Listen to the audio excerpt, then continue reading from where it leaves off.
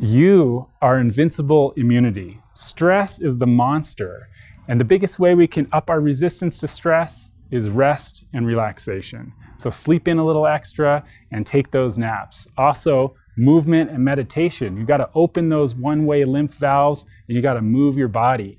And use the power of medicinal mushrooms as a way to reduce your stress. Reishi is probably the most studied herb there is and it's a major anti stressor, one cell wall thick. Nothing can touch it in the forest. It passes that immunity on to you. The hardest thing our body does is digest food. An ounce of prevention is worth a pound of cure, and the Chinese proverb is the key to prevention is healthy digestion. Eat your starches with your veggies and your protein with your veggies, and you're going to make it a whole lot easier on yourself. You are invincible immunity.